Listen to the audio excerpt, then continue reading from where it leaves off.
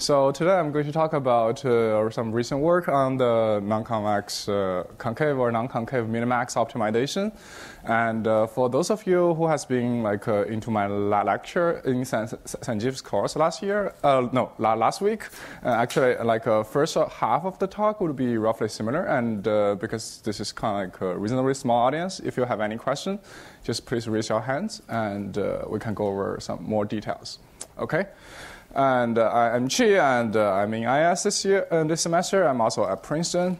So first, about the minimax optimization. I guess this uh, framework about minimax optimization is mostly used to deal with uh, those uh, multi-agent decision-making type of uh, application in practice. And suppose like uh, we have more than one agent, like for in this case we have two agents, and this is like a zero-sum game. Um, both brothers are strive for ice creams. So it's either the big brother get the ice cream and he get the plus one rewards, or the little brother get the ice cream. Okay. So in practice, uh, how we solve this problem. Um, so we usually frame this uh, kind of problem into a minimax optimization. So suppose we have a payoff function, which is a, a function of both x and y. x is kind of like uh, the action first player can play, and y is the action second player can play. And uh, the question we usually want to solve is this uh, min-max optimization. So first we solve the mean, uh, we have the mean of over x, max over y, and fxy. Okay. And in this talk, I will be especially interested in the case where f is no longer just convex concave. It can be non-convex and when we fix y, and also can be non-concave when we fix x. And I want to just uh, make sure we kind of like we understand this in the first page.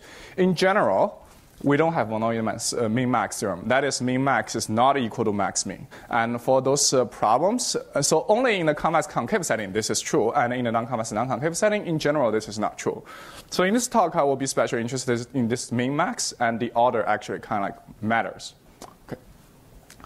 So we kind of like know there are a lot of popular applications of this min-max frameworks in machine learning. And the very first famous one is this adversarial training, where we all kind of like know neural networks is not very robust in the sense uh, for some neural networks, they can classify this picture as a pig, and we're just adding some very small random noise, uh, or some adversarial noise. And it actually can just uh, classify this same, almost same picture where human will say there's no difference, but the neural network will say this is actually an airline. So in this uh, type of uh, um, like community, people kind of trying to deal with this problem by like frame this as a two-player games where we have the first player as a robust classifier. We want to train a very robust classifier, and the second player want to add in some adversarial noise. So we kind of like hoping when they compete with each other, and eventually the robust classifier kind of like learn something really robust, and they're robust to this adversarial noise.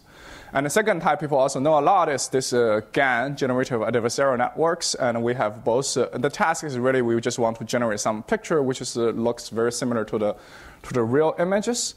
And so the two player here is like we have generator, we have discriminator. Where generator trying to generate some image which, uh, which is look like the real image, but discriminator trying to tell which one is generated, or which one is a true image. So we kind of hoping when they compete against each other, eventually generator will learn to generate better and better images. Okay.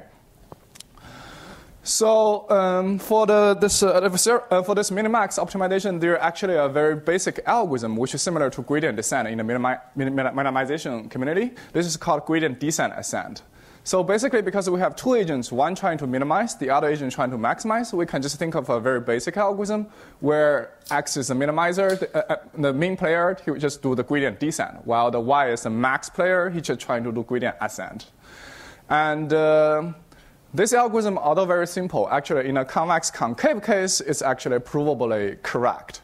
So we can look at this picture. This is more or less a, a, very typical convex concave geometry where x is just doing gradient descent and eventually finding the right one, and y is just doing gradient ascent and eventually finding the right one.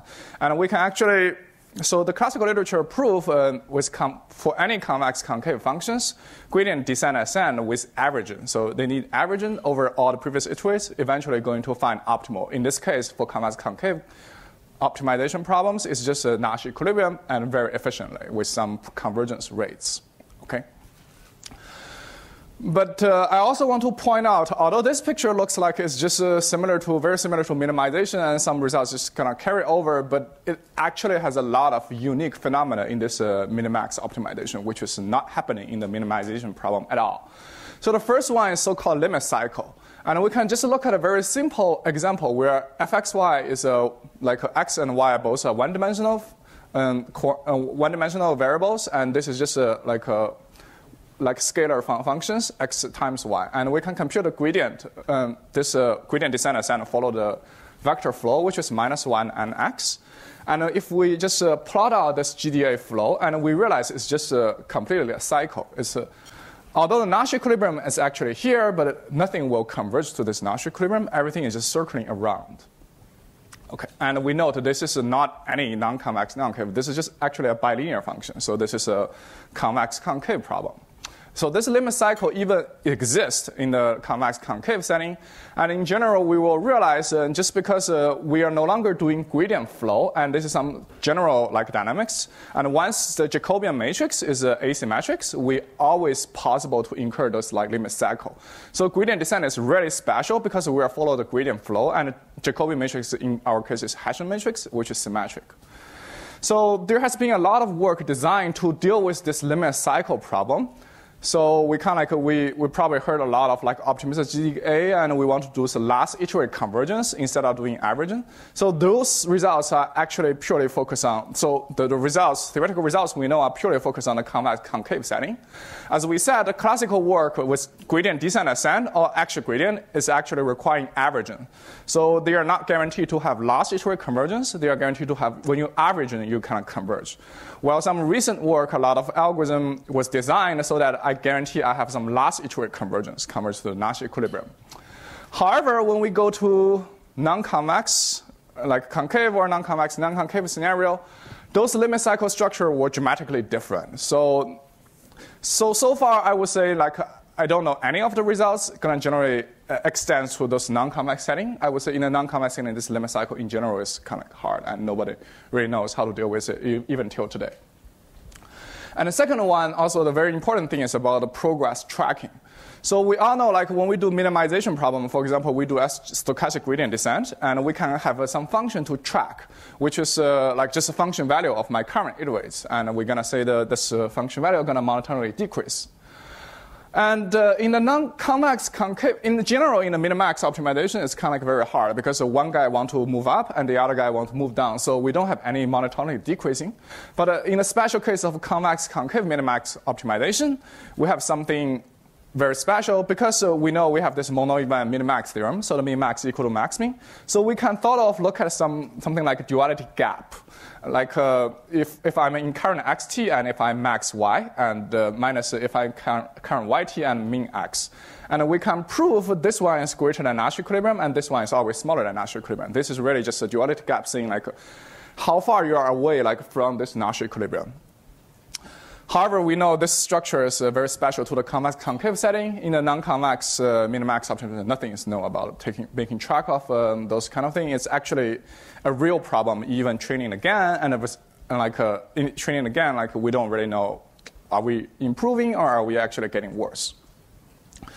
So this talk, I will I will focus on like two scenarios. So because this is like general about non uh, like non-convex minimax optimization, I will first talk about a simple case where I want to generalize like convex concave to one side non-convex, the other side is non the other side is concave, and then later we will talk about both sides are non-convex and concave.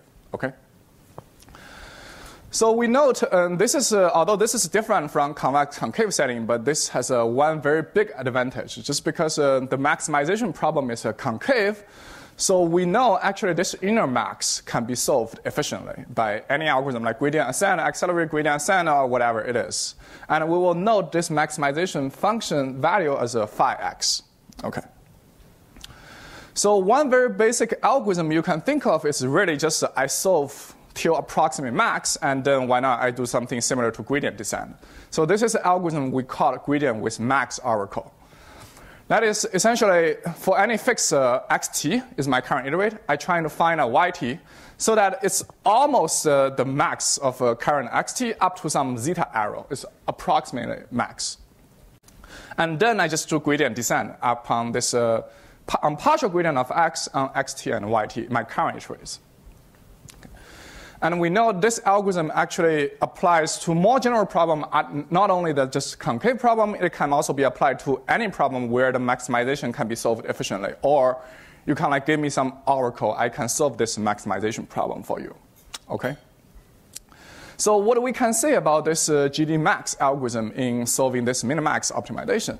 It turns out our recent results kind of like saying we don't need much and we actually have very good results as long as function f is L smooth, which is like gradient Lipschitz, and the function itself is Lipschitz. And then I do this gradient descent with max oracle will visit so-called epsilon stationary point of this max function, where max is uh, like a point-wise I taking max over y, this phi function, in this number of iterations. And for those familiar with uh, the new uh, optimization, this delta phi is essentially just a difference between your initial value on this max phi and also the optimal value. And L, L squared is the Lipschitz parameter, and it, most importantly, the iteration is scaled with uh, epsilon to the minus 4. Okay.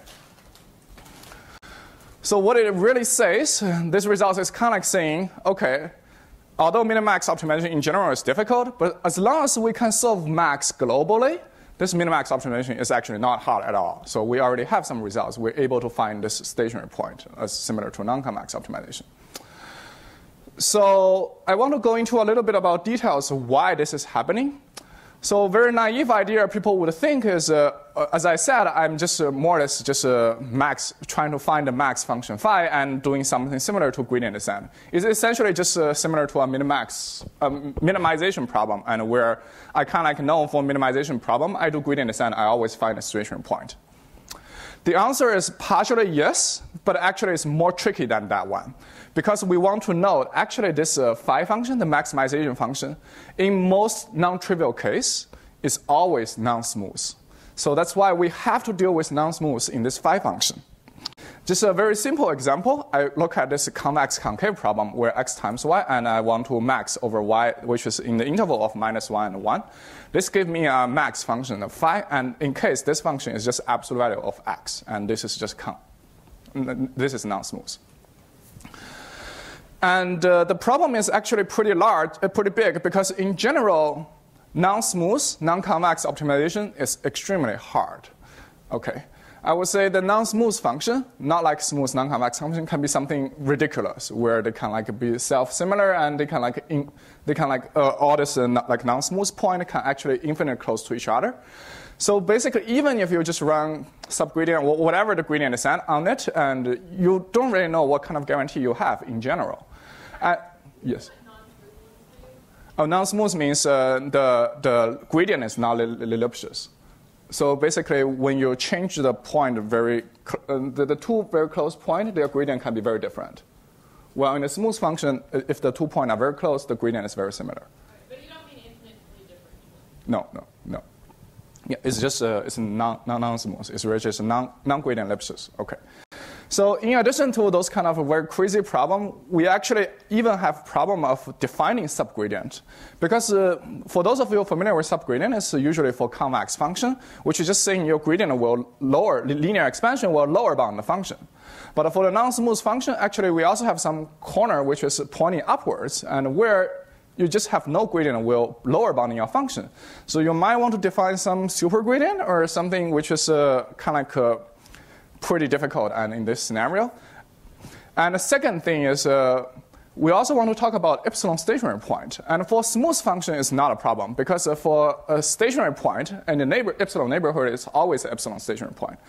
However, for the non-smooth function, it's possible like this. There's only one point that is stationary, and everything else has like a subgradient, which is at least like a positive one, minus one, some constant. So this epsilon stationary point could actually be measure zero. So how could we find a measure zero point, uh, set, which is uh, almost impossible? So this kind of saying we have to discover some new structure about this uh, maximization phi, so that I cannot say just it's a, some general non-smooth function. I need to say some it has some more structure so that I can optimize it efficiently. It turns out uh, our work and along with a lot of concurrent work actually identified this max function is always going to be L weakly convex. As long as my function f is L smooth, then this function is always going to be weakly convex. So what weakly convex mean is uh, my function adding this uh, L over 2 quadratic term is always going to be convex. So this name is a little bit confusing, although it's called weakly convex, it's actually very non-convex. So, okay, it's just uh, more the saying I'm adding some very large Hessian, and I can make it to be large positive Hessian, and I can make it to be convex. So intuitively, what this kind of structure tells you is, uh, as we said, in a non-smooth function, we might have a corner pointing towards downside. Uh, also, we have some corner pointing towards upside. This is like absolute value function. This is a minus absolute value function. And this weakly convex function is more or the same when we add in some positive Hessian, and we will make it convex. So in this case, um, this is always true because this is already convex, and we adding some positive thing is also convex. However, for this case, you can actually prove no, no matter how large L you're actually adding it, you cannot make it convex. So intuitively, I would say if you look at the eigenvalue of Hessian, this is more the saying your eigenvalue of Hessian need to be the, in the minus L to the infinity. So it can be, go crazy like this uh, when you can like change, uh, change upside, but it cannot go crazy like that when you change the gradient to be downside. Okay. And uh, also because this weakly convex structure, actually now we're able to define a subgradient the, the way to define it is also very simple because this is convex function, we can def define a subgradient or subdifferential. And because this is smooth function, I can always compute the gradient here. I just uh, take the difference and which give me a definition of the subgradient into this weakly convex function. And the structure two is uh, because remember we are following actually the partial gradient of x and on this uh, almost optimal points on y. And it can actually be proved if it's really the maximizer it can be any maximizer, but as, as long as it's one of the maximizer, then this partial gradient will always inside this subdifferential of uh, my current function. So what these two structures really saying is uh, when we do this gradient GDMax op, um, algorithm on minimax optimization, it's really just doing subgradient descent. It's almost close to doing subgradient descent on this weakly convex function. Yes, please. Sorry. What does weakly convex mean? Like, oh, I already said. Oh. I, I, just don't understand. On the left, it's convex and weakly convex, and on the right, it's not convex and not weakly convex. It's not weakly convex. So basically, what I'm saying, weakly convex allows some some corner like this, but not allow any corner pointing upwards. So I do you have an example of a function that's not convex, but is weakly convex? Uh, I think you can you can just uh, make this one like like this. It's also non-convex. X minus x squared. Yeah, a lot of uh, like. Uh, I'm saying like you can you can just make some function like this. This is weakly convex, but clearly not non-convex. What I'm saying is just you cannot have any corner pointing upwards, but but you can be anything outside that region. Is this clear? Okay. So now we're saying we just want to do subgradient descent on weakly convex function. And then the next question is uh, how we define this epsilon stationary point. As we said, it's possibly have measure zero, and the optimization algorithm will never find anything with measure zero. So we're very na one naive way we kind of like want to extend this definition is I want to say my epsilon, although this, this is only stationary point here, I want to say as long as I'm close to this stationary point, I'm okay. Because if you think of uh, convex convex non-smooth optimization, you're kind of like oscillating between this point. What you're really converging to is also something kind of like epsilon close to the, to the optimal point. So basically, this is also a standard definition. We kind of like extend this epsilon stationary point definition to be something so that if I say x is an epsilon stationary point, I have to say there is, exists a point in the nearby where the distance is at most something order epsilon, so that this uh, x tilde point is actually a stationary point in the sense I have a subgradient inside my subdifferential set. The norm of the subgradient is smaller than epsilon. Okay? So basically, combine everything, uh, it turns out uh, there's a very elegant mathematical framework in this weakly convex community to solve this problem. It's called, they just deal with this called a Moreau envelope. Moreau envelope essentially, I have a weakly convex function and I can define it in some like a proximal term and define this uh, phi function. This is called a Moreau envelope of my this precise is called Moreau envelope of my phi. And Moreau envelope has a very a lot of very good property. as long as uh, my phi function is weakly convex, it's not smooth, but my psi is always guaranteed to be a smooth function.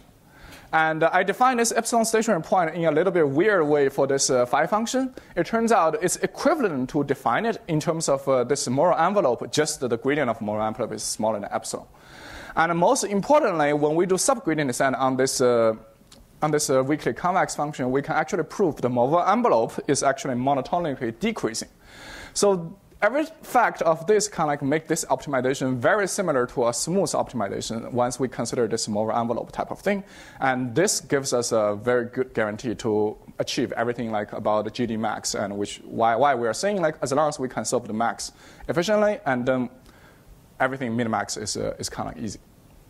Okay. So, so far we're talking about a GD max algorithm, but people kind of like saying, okay, GD max might be a double loop algorithm where in the inner loop I'm trying to do the maximization, while out loop I'm trying to do gradient descent. How about uh, I just want to do a single loop algorithm, like a GDA, like gradient descent ascent, which is like a, kind of like a little bit cleaner and, uh, and like a, it's easier to implement. And turns out, yes, uh, we actually can prove something similar for GDA as well. And uh, note, so, so now we actually need exactly need a non-convex, non-convex concave function. We cannot just say I have some max oracle because we kind of like we need to say the, the max problem has to be solved, can be solved by gradient ascent. So then in this case, under my conditions, uh, I can prove uh, GDA actually finds the epsilon stationary point of this max function efficiently. Yes, please. Uh, how, how big is what? Oh, this L is just a smooth, smooth smoothness. Uh, which one? Uh, yes. This one. This one just smoothness. The, the, the, no, I'm saying no. The, I know. the, L. so here, yes. This L, how big is it? You know, you, you said like you know, H plus like phi is L convex, but you have like I mean you have like different for some examples. What's like is that means how big is must must must it be so that it's uh, so kind of like this work is kind of like assuming I know the smoothness parameter of the function. So once you know the smoothness parameter, you're just adding out. In practice, yeah, it's kind of like a, another question to estimating how smooth is your function. And if your function is not very smooth, then this L could be very large. That's the smoothness parameter in both x and y? In both x and y, yeah.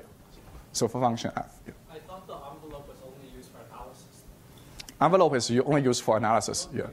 You don't need an Uh, no, but, but it potentially essentially the, the, the no the, the rate is gonna show show up. Yeah. maybe the learning rate. Learning rate you need to depend on the L. Yeah. Learning rate depends on both little L. But both little L and a big L. Yes. Function itself is non-smooth. It's non, uh, function itself is smooth, but when, when we do the maximization, it becomes not non-smooth. And I want to argue, like in general, you cannot avoid this non-smoothness for the maximization function. Okay. So yeah, and uh, this is uh, for gradient descent ascent. I will also do the same thing, and in the paper we will have a lot of settings, uh, like, which is non-convex, uh, strongly concave, non-convex concave, and also the stochastic setting. And we kind of work out different rates for different setting. And if you're interested, please look at the paper. And uh, the really trick is uh, we kind of like the key insight is so basically, this GD max is uh, I, I kind of like I doing one step of gradient ascent while I doing a lot of step of gradient ascent. I'm trying to approximately maximize the function. Where effectively I can think of GDA very similar. While if I kind of like make the learning rate ratio to be to be the same thing as like how many steps you do gradient ascent over gradient descent. Okay, and then it's really just a technical question. Like uh, I'm no longer just maximizing some function, but I'm maximizing some slowly changing function, will, which will induce some error, but uh, like our work kind of says, we can deal with this kind of error efficiently. Yeah. So are you, you uh, look at, are you analyzing one step GD, m step GA, or one one? I'm, I'm, I, I'm, I'm kind of like analyzing the one one using using this kind of similarity because the one one and making the learning rate ratio to be something m, which is kind of like similar to this one step GD and m step GA. This is what I'm arguing. And so, is there some notion of like, how, okay, maybe I should look at your paper, but um, the property of the sort of effective Moreau envelope after n steps, some some finite number of steps instead of going all the way. No, in, in the field there is no no notion like that. Yeah. And the Moreau envelope is designed purely for the non-smooth function. It's not for the min-max thing. Oh, sorry. Yeah. yeah. Okay. So basically, this concludes the first part of my talk. And essentially, I just want to summarize. Um, so basically, we think minimax optimization in general is pretty challenging, but there's one scenario we actually kind of make it easy. That is uh, if the maximization can be solved efficiently in, in any manner.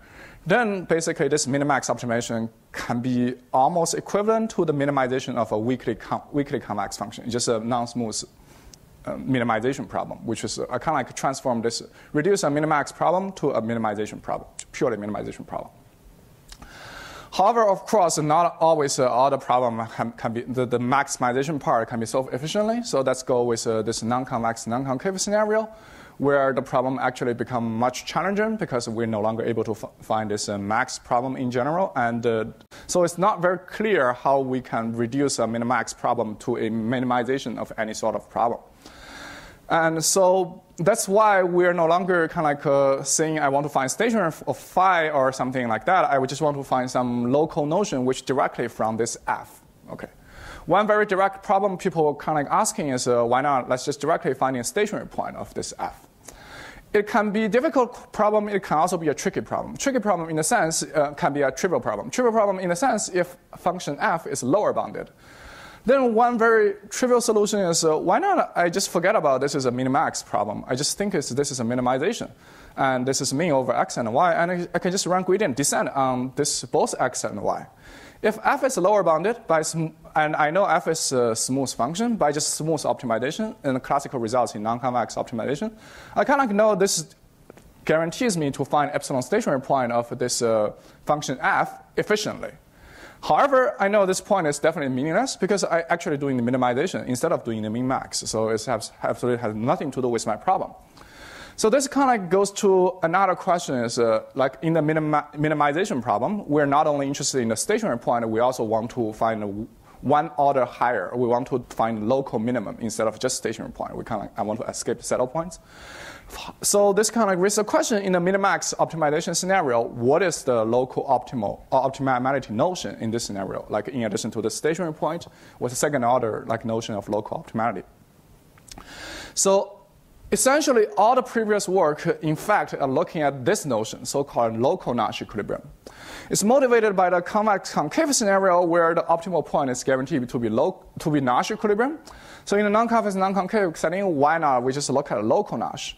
What local Nash saying is uh, if x star and y star is a local Nash point, I can first fix x star, and this gives me a function over y, and I'm saying y star need to be a local max over, over this, this uh, like a slice function.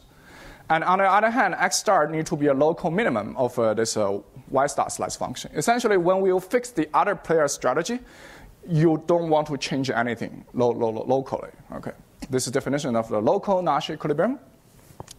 It turns out this point may not exist in general. So in a non-convex, non-concave scenario, not mention local Nash, even the global Nash may not exist in general.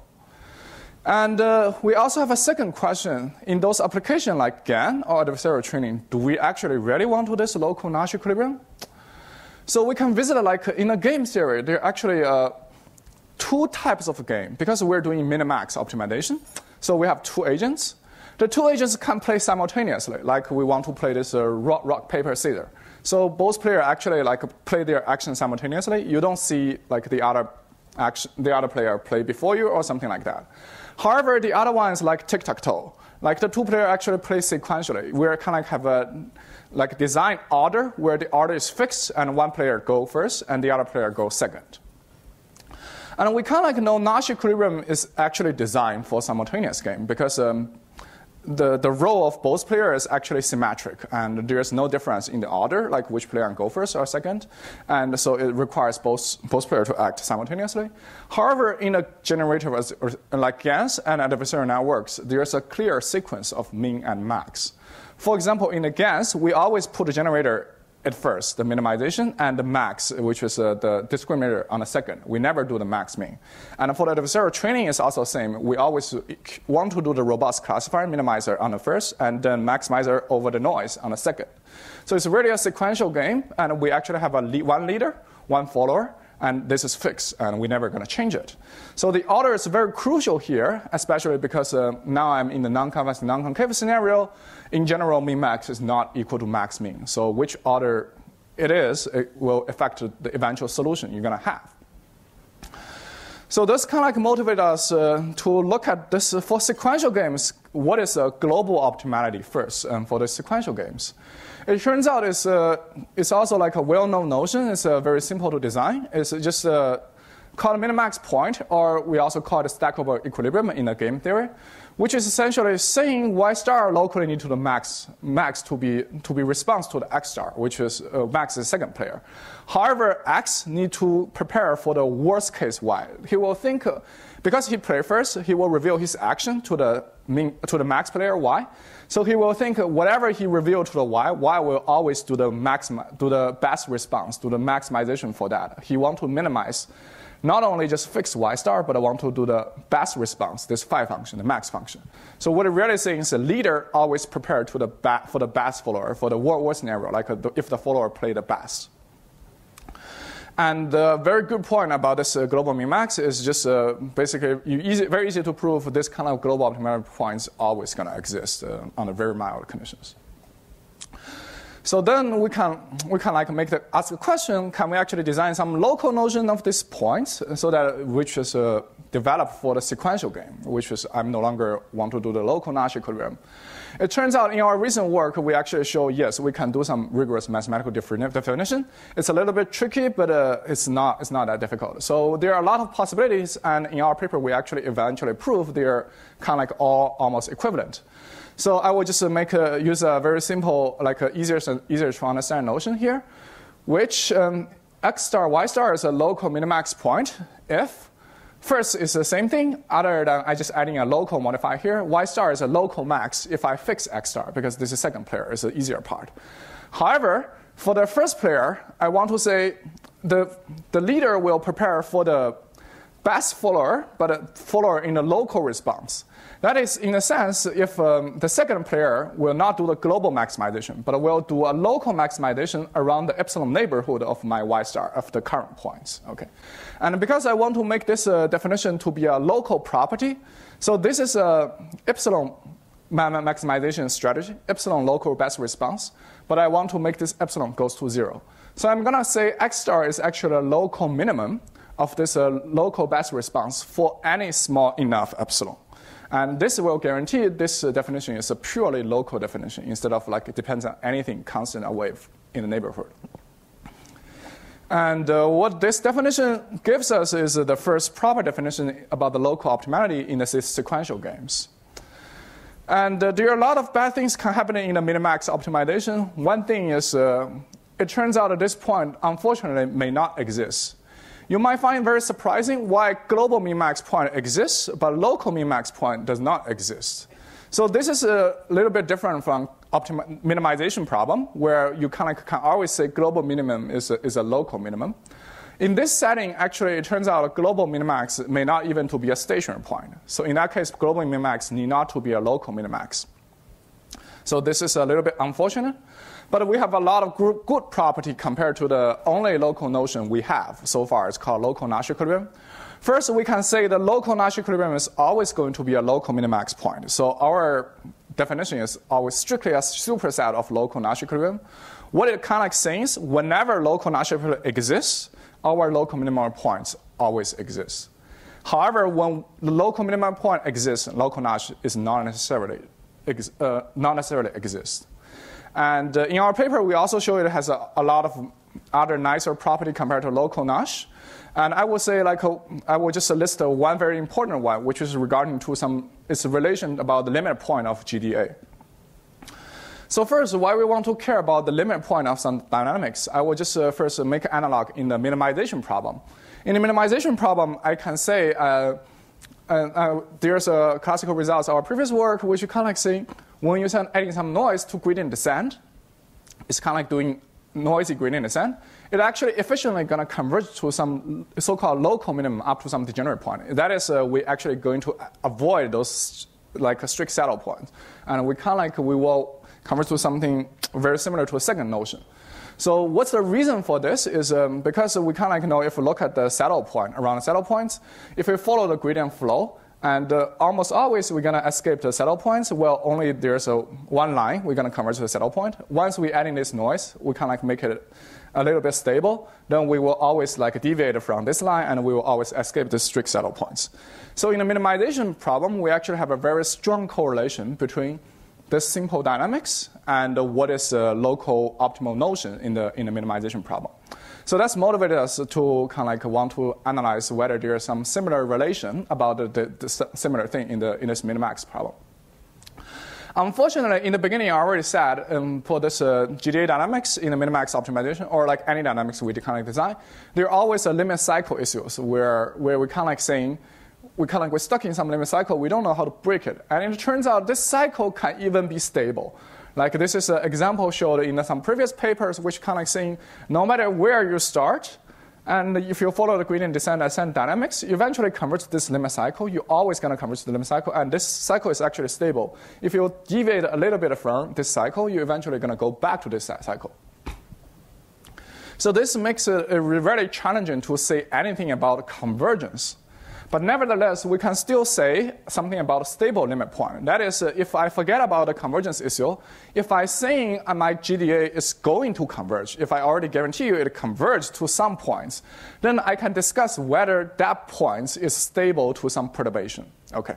So this kind of give the definition of the stable limit point. That is the limit point, the point I'm going to converge into, and it's also stable to the to the perturbations. And the previous work, because they studied local Nash equilibrium, they kind of like give these results. They are saying all local Nash equilibrium is inside the, the stable limit points of GDA. That is good. That means uh, I'm not something like crazy set. However, there are a lot of stable limit points of GDA. That is not necessarily local Nash equilibrium, and they're actually not non-trivial points. They are not degenerate points. They are something very non-trivial, and they're not local Nash equilibrium. So this kind of like uh, what it's saying is uh, GDA might converge to some point that is local, not, not local Nash equilibrium. And uh, many people kind of like in this field uh, even started to design some algorithm which kind of saying, okay, why not I just uh, like uh, manually el- eliminate those kind of additional points. I just want to find local Nash by like looking at a second order algorithm or something like that.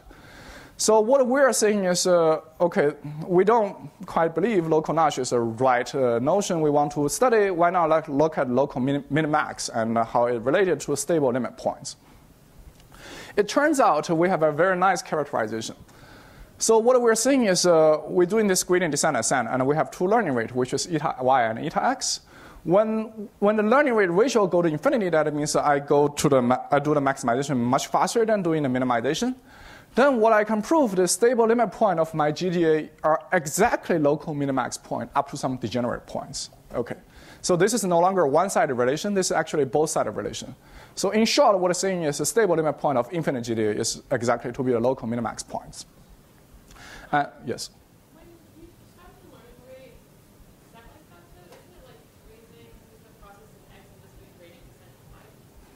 Is, you have the gradient ascent in y a lot and gradient descent in x. Yes, but uh, I just want to know that this is the, although we're you're doing that, this scenario is completely different from the from the previous scenario where we can solve the maximization efficiently. Because uh, in a non-concave scenario, although you're doing a lot of on gradient ascent, you don't guarantee to find global max or anything. You can stuck in local max. You can stuck in some high order saddle point or whatever it is. So I just don't understand, how is this theorem different than just a theorem about gradient ascent on Y? Oh, then you need to do gradient descent. You need to do gradient descent. If this is equal to zero, then this is not, it's not going to work. You need to be smaller, yeah, very, something very small. So this, um, in, our, in our paper, is just, uh, this is going to infinity, but it's never going to be exactly infinity. So this picture kind of like summarizes the relation between these different sets. We know the local Nash is actually the smallest set we said is uh, inside the local min max, is also inside the local max min. And there's a gamma GDA, which is a stable limit point of GDA. And the previous results kind of saying local Nash is inside this gamma GDA, but there are a lot of other non-trivial points, which is not local Nash, which we cannot characterize by, by like we don't know how to characterize it. And our paper is saying when making gamma larger and larger and larger, eventually it shifts to this set. When you go to infinite GDA, it's exactly the local min max points. Okay. So let me summarize the results I, I talk in this scenario. The first is about notion of local optimality. Previous work kind of like uh, extensively studied the local Nash equilibrium notion, and which is uh, I would argue is designed for simultaneous game. However, for the sequential games, now we have some new notion called local minimax point, which is uh, kind of like uh, pretty well suited in this scenario. And we also study its relation to the stable limit points of GDA. Previous work kind of like saying Nash equilibrium is a strictly subset of uh, the GDA stable points, which kind of like making question what the other points of GDA conversion to, and what we are saying is when we, when we do the, the learning ratio to be infinity, we kind of give the full characterization of stable limit point of GDA. Okay. So finally, I will just briefly mention some future directions. Uh, and the, the first one is about non-convex concave setting. We kind of give the basic results. We kind of saying it's solvable efficiently. However, there's still a question about optimal rates. Can we do some acceleration on it? It's kind of started standard optimization problem. And the second one for the non-convex, non-concave scenario is kind of like much more challenging. And the first thing I, I would say is because uh, all we study is really just the stable limit point. We haven't touched the limit cycle issue yet. So can we understand what is the meaning of this limit cycle and when it's going to happen, when it's not going to happen, and how to break it? And finally, can we establish any convergence result in a general setting? Because uh, we have to break the limit cycle first, then we can say something about convergence in a general setting. Okay. I think this concludes my talk. And finally, I just want to acknowledge my wonderful collaborators, Tianyi Lin, who is at Berkeley, and Praneeth Netrapalli, who is at Microsoft uh, India, and my PhD advisor, Michael Jordan. Thank you.